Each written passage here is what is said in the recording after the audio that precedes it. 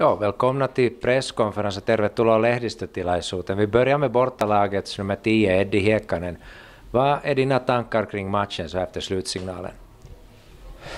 Nu jag tänker som så här att vad heter det, vi kom inte upp i vår egna nivå idag. GBK förtjänar segern fast de fick ett tidigt rött kort. Att vi kom inte upp i vår egna nivå så GBK förtjänar att vinna idag. Vad tycker du att ni borde ha gjort annorlunda för att, som du säger, komma upp i er egen nivå? Vi skulle borde behandla bollen bättre, inte haft så här Ja, ungefär det och varit mer noggranna hela tiden. Tyckte att ni, ni skapade tillräckligt med målchanser för att kunna ta med er någonting hem? Nu hade vi chanser nog men inte vet jag riktigt om vi hade tillräckligt med klara chanser för att vinna den här matchen åtminstone. Ja, tack för de här kommentarerna. Ja sitten kotijoukkueen Teemu Mäki. Mitkä on sun tunteet heti pelin jälkeen? No, iloiset ja ylpeä fiilis joukkueesta. Että aivan törkeästi painettiin hommia ja tällä kertaa sieltä tuli palkinto. Että otettiin, otettiin vastaan käytännössä 15 minuutin jälkeen koko matsi. Että mun mielestä me aloitettiin peli ihan hyvin ja sitten siinä kävi mitä kävi ja sen jälkeen me otettiin vastaan. Hyvin, hyvin me tehtiin hommia ja palkinto tuli. Kajaanissa tota, no niin, tehtiin myös hyvin hommia, vähän erityylinen peli, että siellä me oltiin toki enemmän pallossa, mutta sieltä ei tullut palkintoa. Ei voi olla kuin ylpeä joukkueesta. Joo, juoksukilometrejä tuli varmaan jokaiselle aika paljon ja, ja yhdyksän siihen ajatukseen, että kun ollaan yksi vähemmän kentällä, niin sitten jokainen joutuu nostamaan tasoa ja energiatasoja niin, niin huomattavasti. Totta kai se on, niin kuin, sieltä puuttuu yksi pelaaja enemmän joutuu tekemään hommia, mutta toki myös se pelin luonne muuttuu. Että mehän sumputettiin tosi rajusti se keskusta, että välttämättä siinä ei edes tuu niin paljon niitä metrejä, kun ollaan vaan tiiviinä pakkana keskellä. Että kyllähän Vifki sai pyörittää palloa muodon ulkopuolella ja sitten sisä, muodon sisällä yritetään olla mahdollisimman aggressiivisia. Kyllä. Ja tosiaankin niin, niin Kaiha-peli oli ihan erilainen peli ja siinä luotiin paljon paikkoja ja, ja nyt oli IFK vastassa ja taas erilainen peli. Mutta miten GBK jatkaa tästä eteenpäin? On varmasti hyvä, hyvä tunne, että on, on voitettu sarjan kärkijoukkue. Totta kai. Sitten meillä taitaakin tulla seuraava kärkijoukkue vastaan JJK ensi viikolla. Ja JJK on kyllä sopinut meille aina, että me ollaan otettu hyviä, hyviä tuloksia JJK vastaan. Että totta kai tästä saa boostia siihen ja ei muuta kuin luottavaisin mielistä. Kyllä. Kiitos. Kiitos. Ja, bortalagets tränare Max Peltonen, vad, vad är dina tankar så här efter slutsignalen? No, de där främsta tankarna är ju att vi, vi skapar inte tillräckligt, vi är lite långsamma med bollen, vi, vi kommer inte bakom dem. Uh, vi kommer inte helst framför dem, att vi är ganska ängsliga när vi spelar fram, fram framför linjen. Vi, vi tappar lite boll i onödiga lägen. Lite sådana här tankar är, är, är främst. Sen, sen har jag nog en sån känsla av att vi i två veckor har den här matchen kommit. Att vi har inte riktigt varit där var vi behöver vara om vi ska kämpa om de positionerna vi vill kämpa om. Och, och par veckor så har det varit lite, lite på väg och här kommer den här matchen och, och det där. GBK förtjänar allt de får idag, det handlar inte om det utan, utan jag måste tänka framåt och, och se hur vi får, får ändrat på det där men, men all, all ära till GBK idag. Vi hade jättesvårt och de, framförallt de gjorde svårt för oss efter det röda kortet. Om vi tar fasta på det, vad tyckte du att GBK gjorde speciellt bra efter det här röda kortet? Äh, de försvarar sig bra, de gör det, de gör det tillsammans. Man, man äh, märker ju där på plan att det, det, folk pratar med varandra, de är aktiva, de, de krigar om allt vad de kan få, de kämpar om varje boll som, som äh, de kan nå.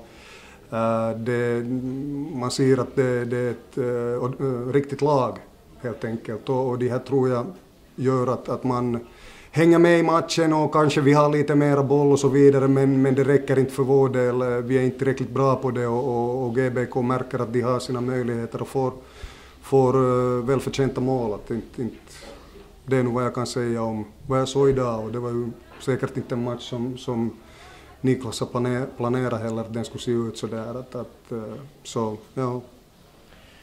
Vasa IFK har gått väldigt bra i år. Vad tror du själv att det är orsakerna till det att ni, ni ligger där ni ligger i tabellen?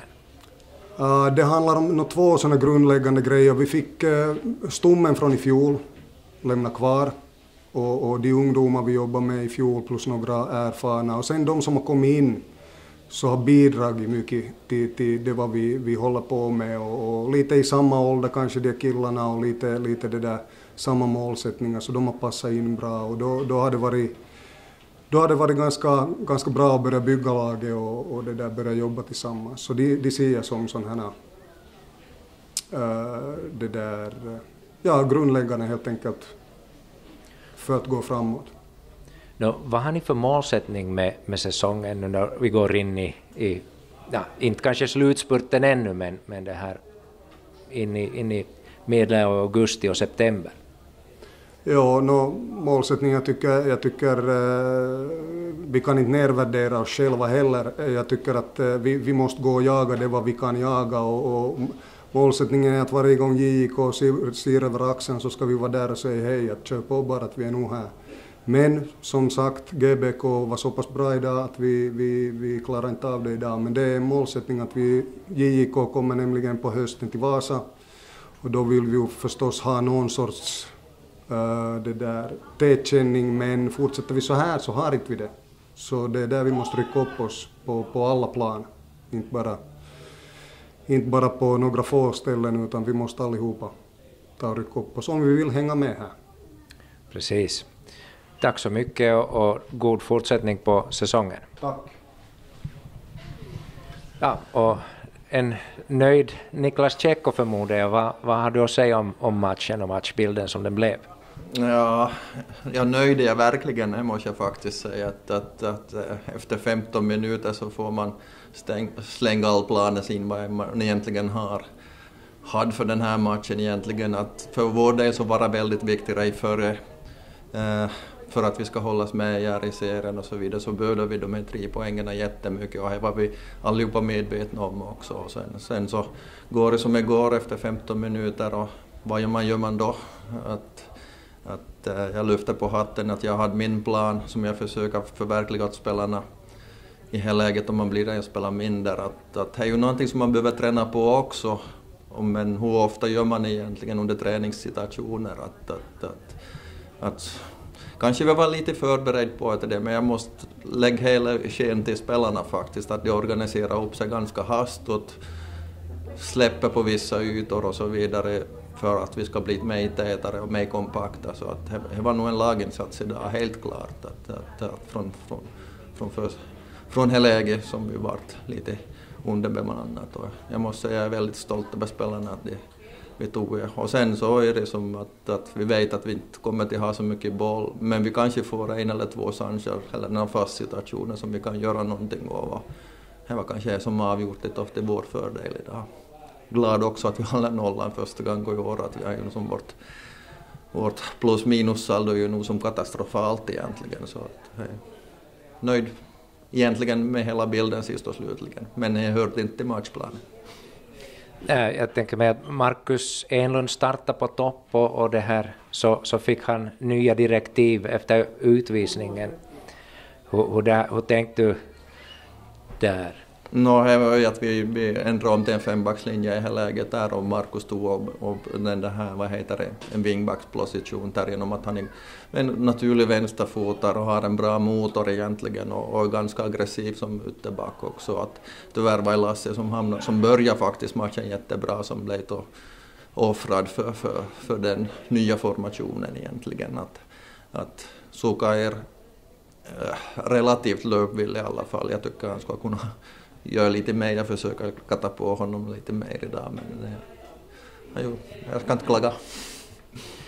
Det lät som om killarna ska vara glada i, i omklädningsrummet och, och, och det här det var ju en, en, en lagseger och, och alla jobbar väldigt mycket. Och det här, nu väntar ju då JIK näst.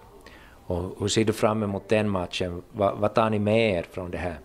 Alltså det är nog först och främst laginsatsen överhuvudtaget. Att det är som, Eh, vi kan ha hur mycket bra individer som helst i ett lag, men om inte vi fungerar som ett lag så, så, så blir det ju svårt för alla att spela fotboll överhuvudtaget. Att, att, som man ska börja komma ihåg egentligen att, att, att, att, att en bra fotbollsspelare är ju en som är en bra lagspelare.